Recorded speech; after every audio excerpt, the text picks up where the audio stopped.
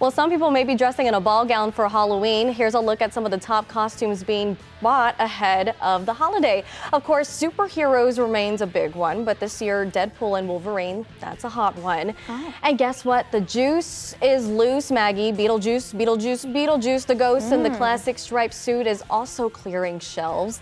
And TikTok trends are playing a major factor this year, such as the mob wife aesthetic and yes. Taylor Swift Era Tour's costumes. The mob wife aesthetic, that's one of my favorites. Yeah, the like juice is loose. The juice will also make you loose. So I'm sure it's going to be a good Halloween. I want to be a worm for Halloween. You want to be no one worm. steal it at home, please. Yeah, I'm just like, let's throw the people off a little bit. You know, it's not expected. It's a, a bug's life. I'll join, I'll join in with you. we both can be worms. Woo!